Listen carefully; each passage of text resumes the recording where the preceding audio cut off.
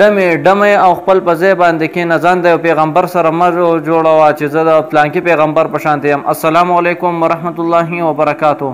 ملګرو څنګه یې ښه د خپل رب نه مې امید ده چې تاسو به ښه او په روغ صحت سره به ملګرو دې سیټ چې دا کم تصویر تاسو ته ښکاري د دې ټول حقیقت زه تاسو سره شریکوم یو ملګری په واتساپ باندې دا ویډیو کلیپ وړوکی غونته راولېږو دویمه درېیمه ورځ تقریبا چې دا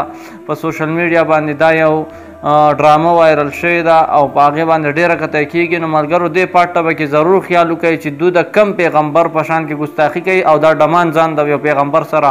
جوړوي نو راځئ ملګرو لول په تاسو باندې دا ویډیو کلیپ وګورو د هغې نه پس زه تاسو سره یو دوه درې خبرې کوم خو ما سره ضرور اوسئ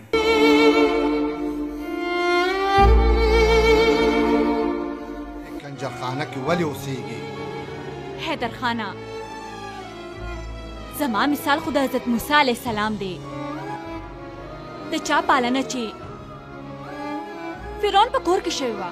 ملګرو تاسو دا ویډیو کلیپ وګورئ چې دا جنې وایي چې زه د موسی علیه صلات والسلام په شان تیم چې د فرعون په کور کې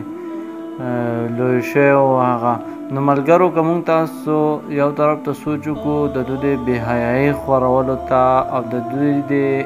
کم کنجرتوب چې خورئ په پښتنو کې هغه یو طرف ته خو وسته په هغه ویډیوګانو کې او خپل په فلمونو کې هغوی د پیغمبرانو هم ورو ورو ګستاخي شروع کړه دا هم د ځانه د یهودیانو ایجنټان جوړوي او دا کمې خبرې چې دوی کوي نو دا دوی له نه دي پکار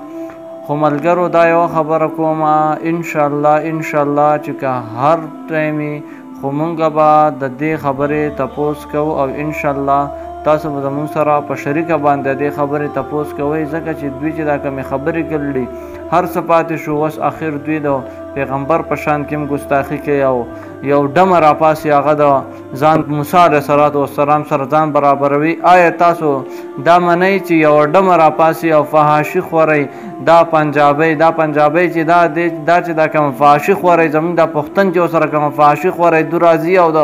موسی علیه الصلوة والسلام مبارک نوم خپل په دې خوله باندې ملي او بیا ځان د هغه سره هم یو شان کوي، نو ملګرو چې څومره هم ستاسو نه کېږي، پلیز دا ویډیو مخکې شیر کړئ او. اخري خبره زه تاسو دا کوم چې ان شاء الله ان شاء الله یو ورځ به موږ د دوی نه تاسو کو او ان شاء الله د خپل رب نه امید ده چې تاسو موږ سره شانه بشانه ولاړ یی ملګرو دا لند غونډه کې پیغام او زما د احسان ماجرا کې اجازه تر بل پروګرام پورې السلام علیکم ورحمت الله وبرکاته